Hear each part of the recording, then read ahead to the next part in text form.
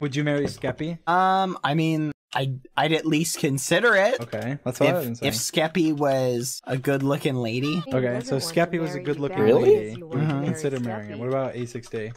Yeah. Wait, would? is he You- still you- French? Yeah, he's French. Okay, so- then yeah, I'd consider it. So if he wasn't French, What do you mean? if he wasn't French, then you wouldn't marry him? Do you have something against French people? No, I'm saying you're saying that. You just asked if he's French. Yeah. Okay. So if he wasn't French, then you wouldn't marry him. Uh, I mean, being French is like a part of his personality. Okay, I guess.